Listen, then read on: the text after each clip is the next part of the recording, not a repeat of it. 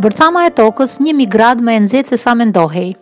Bërthama e tokës është rreth 1000 gradë më e nxehtë se sa mendohej më parë, duke shkaktuar nxehje në sipërfaqe të planetit tonë, po aq sa dhe dielli që na ngroh.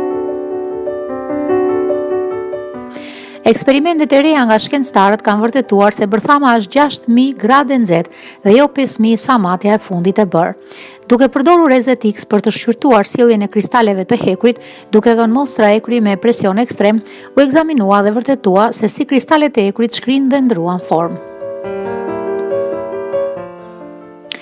Bërthama e tokës është në formë topi e përbërë nga hekuri dhe me madhësinë e një hëne.